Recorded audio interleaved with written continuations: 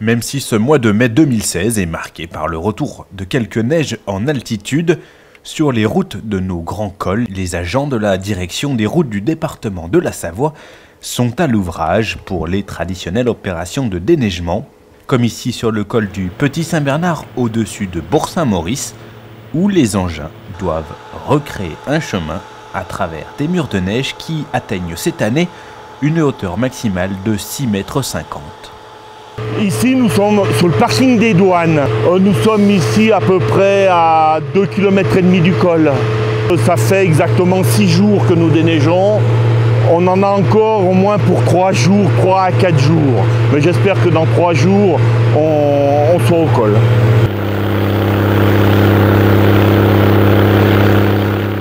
Le 20 mai dernier, les machines arrivaient au dernier virage avant l'hospice avec dans un premier temps le travail d'une fraise à chenilles pour créer une tranchée et mettre à plat, puis le passage de deux fraises à pneus pour mettre la route au noir.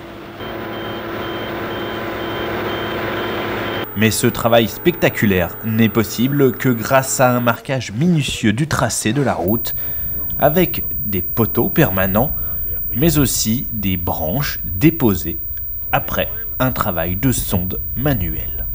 Donc les poteaux bois nous servent à, déterminer les hauteurs de neige et à délimiter les bords de route euh, quand il y a des, ou des virages ou des, endroits un peu importants, des buts de glissière, des buts de murs, de ponts et des points vraiment stratégiques. Après, nous avons toujours deux sondeurs, deux personnes qui sondent. C'est le travail de fourmis qui sont en train d'exécuter. Euh, ça détermine exactement l'emplacement de la route. C'est vraiment le, le béaba du, du déneigement de col. Hop. 6 mètres, 6 mètres 50. Et de nouveau, on cherche la route.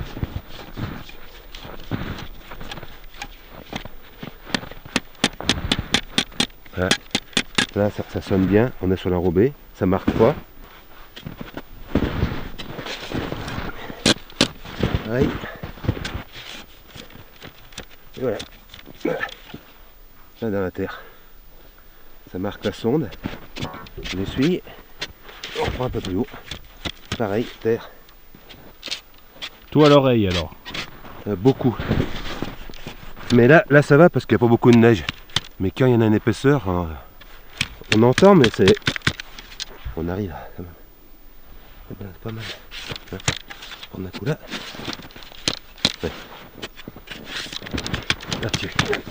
Et vous faites ce travail sur combien de kilomètres Les 8. Les 8 Tous les combien Tous les 30 pas. Eh ben dis donc, ça fait beaucoup de pas alors. En gros.